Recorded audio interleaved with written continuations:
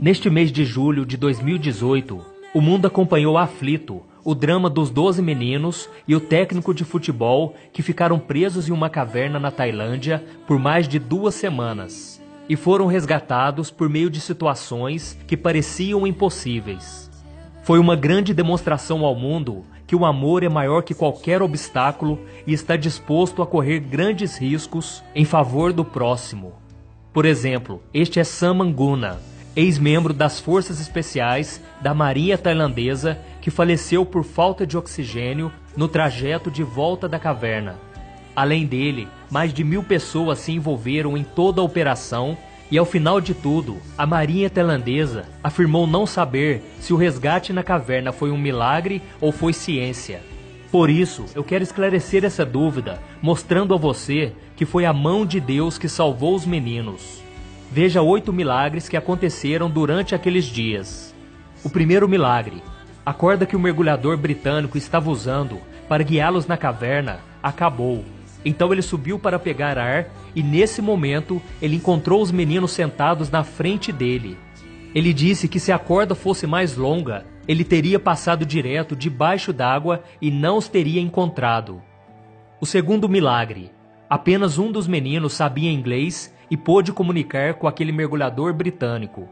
Ele é o único cristão do grupo e aprendeu o idioma em um projeto missionário que acontece em sua pequena igreja. Terceiro milagre: a chuva se manteve discreta durante a operação de resgate por três dias e não afetou a operação. E mais um detalhe: choveu muito nas áreas ao redor. Quarto milagre: assim que o mergulhador saiu da caverna, depois de todos os meninos estarem seguros, a bomba que retirava a água da caverna quebrou e teria sido um grande desastre. Quinto milagre: um dia depois do resgate, choveu o dia todo e a caverna ficou completamente inundada.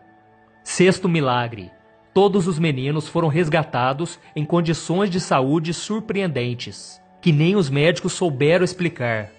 Sétimo milagre: mesmo diante de todas as diferenças linguísticas e culturais, Decisões e escolhas importantes foram tomadas em comum acordo até a execução dos planos.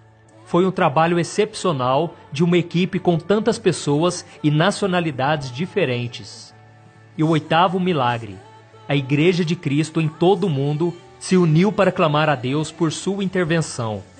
Cristãos de todos os cantos da terra oravam na esperança que o Senhor podia fazer o impossível, e isso realmente aconteceu. Essas informações foram divulgadas pela família missionária Benankishan Jones, que serve a Deus no norte da Tailândia. Desde o começo em que os meninos foram encontrados até serem resgatados, fica claro que Deus operou um milagre que o mundo presenciou e se comoveu. Muitos dirão que foi sorte, mas eu prefiro acreditar que mais uma vez Deus derramou graça sobre aqueles que estavam perdidos e que você possa também glorificar ao nome do Senhor.